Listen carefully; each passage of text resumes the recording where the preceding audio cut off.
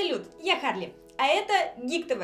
Пришло время первого топ-5 инди-игр в 2018 году. И раз уж у нас такое событие, то сегодня все игры будут 8-битными. И большая часть из них посоветована нам вами. Я очень рада, что было так много вариантов, которые вы нам предложили в комментариях под одним из видео. Пожалуйста, не останавливаемся на достигнутом, потому что вы открыли для меня очень много новых миров. Одни меня зацепили, другие не очень. Ну, как бы, все имеют право на ошибку. Я на вас не злюсь, вы на меня не злитесь, то, что я не включаю некоторые игры в топы.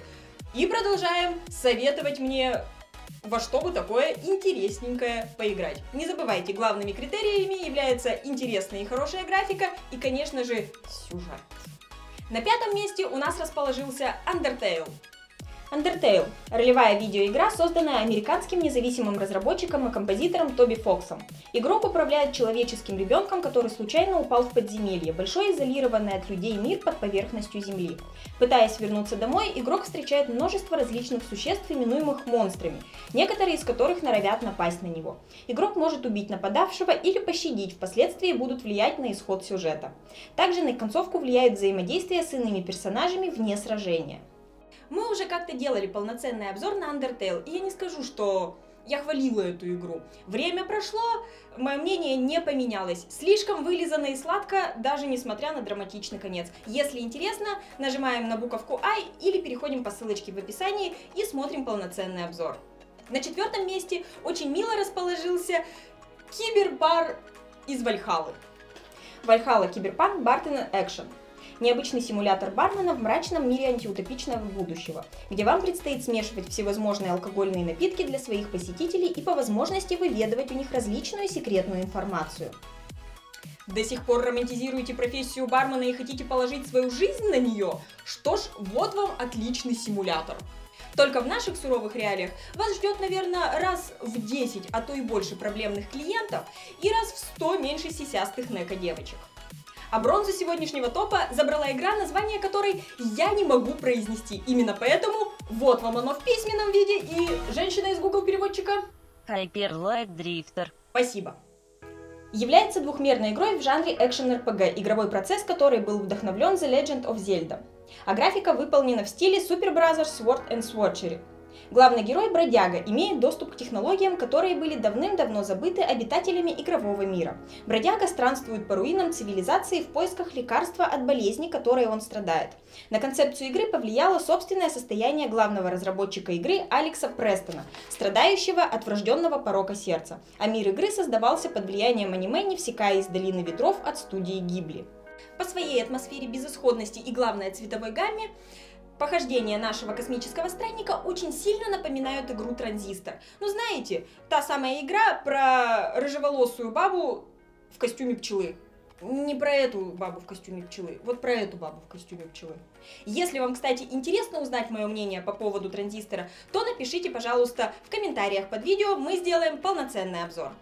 На втором месте у нас очередная тоталитарная антиутопия. Peppers, please!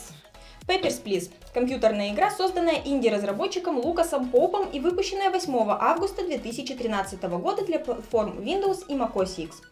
Действие игры происходит на КПП Ворстоцке, вымышленной стране, напоминающей страну Восточного Блока. Сам контрольно-пропускной пункт навеян чекпоинтом Чарли, являющимся Восточный и Западный Берлин во времена Холодной войны. Правительство Арстоцки и, в частности, министерство, похоже на правительство Океании из 1984 Джорджа Оруэлла. Что-то очень часто Оруэлл стал у нас мелькать как вдохновитель. Вам не кажется? И вообще конкретно у этой Оруэлловской антиутопии очень много наштампованных э, младших сестер. Если честно, мне было лень в них играть, поэтому по заслугам не могу оценить. Возможно, это моя ошибка. А знаете, что не ошибка? Потратить пару часов своей жизни на Papers, Please. Ну а на первом месте у нас поселился маленький котик, спасающий мир из One Shot. OneShot – приключенческая компьютерная игра, разработанная Little Cat Feed и вышедшая 9 декабря 2016 года. Прекрасная игра с полным ломанием четвертой стены. Вы играете за ребенка Нику, главная задача которой – зажечь новое солнце. Ника проснулся в другом мире, и ему нужно узнать о том, что же это за мир. Вообще, эта игра стала для меня откровением, потому что как только я ее загрузила, во рту появился тот же приторный привкус, что и после Undertale. И в какой-то мере похождение котика с солнышком в руках вполне могли оказаться где-то в конце списка, рядышком с Андертейлом.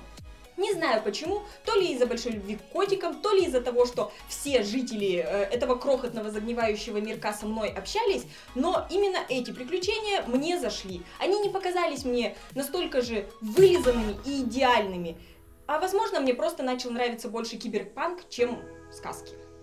Для сравнения, то тут с вами будут общаться, как Дэдпул в фильме общался, или в комиксах. Каждая из этих пяти игр достойна вашего внимания. И я очень рада, то, что три из них посоветовали мне вы. Огромное вам спасибо.